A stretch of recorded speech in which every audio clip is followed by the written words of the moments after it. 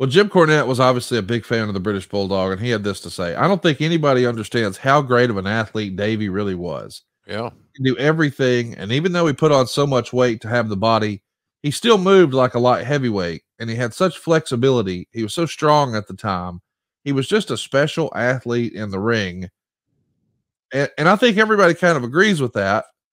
But I'm picking up what you're putting down on this program so far. He had uh, too many off the field circumstances and challenges that maybe it hindered his career? Oh yeah, absolutely. I think so. I think, you know, I've, i mentioned here, and I may have already mentioned it today. You know, the when I was hiring talent, one the number one box that had to be checked was reliability. Right. And there was a point in time during Davy's journey there that uh, reliability became an issue. And uh, and I, I contribute that not to Davy's lack of love for the business, or the fact he got lazy all of a sudden.